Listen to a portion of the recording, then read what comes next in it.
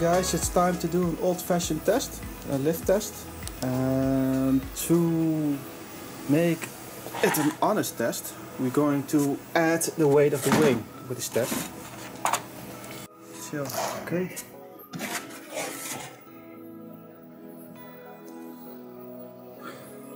So the weight of the wing is 500 grams, 530. And this battery is almost 600 grams, but it simulates the weight of the wing a little bit. So it must take off with this extra weight. I put it on the CG. And let's try a test test. A trust test.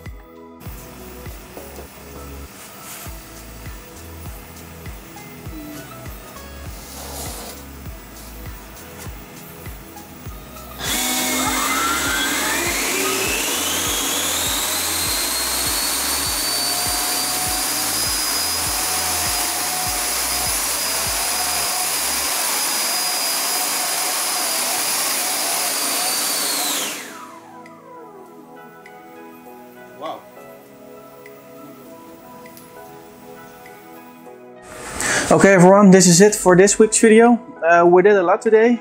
I'm really happy that we uh, getting more skill step by step, like uh, connecting the roll nozzles with uh, the ailerons. Uh, this is a nice feature about the Harrier. Um, for me it saves servos. Uh, really cool feature, but this one is not controlled by the pilot, but controlled by the KK2 uh, flight computer.